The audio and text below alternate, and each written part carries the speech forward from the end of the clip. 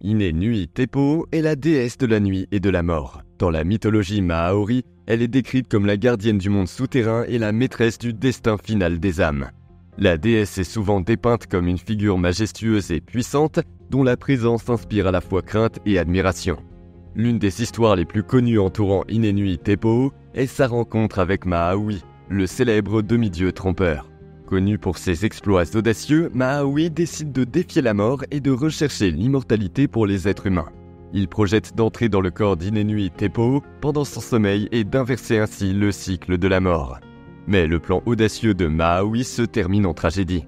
Alors qu'il tente de le mettre à exécution, l'un des oiseaux qui le suit s'esclaffe, réveillant Inenui Tepo.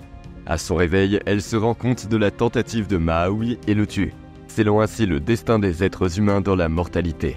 L'histoire de son interaction avec Maui montre le danger d'un orgueil excessif et de la transgression des limites naturelles. Dans la culture maori, Inenui Tepo est une figure à la fois respectée et redoutée. Les rituels et les cérémonies liées à la déesse soulignent la nécessité d'aborder la mort avec respect et révérence. Au fond, Inenui Tepo est une représentation symbolique de la complexité de la vie et de l'inévitabilité de la mort. Elle personnifie la conception maori selon laquelle la vie et la mort sont les deux faces d'une même pièce, toutes deux essentielles à l'équilibre du monde.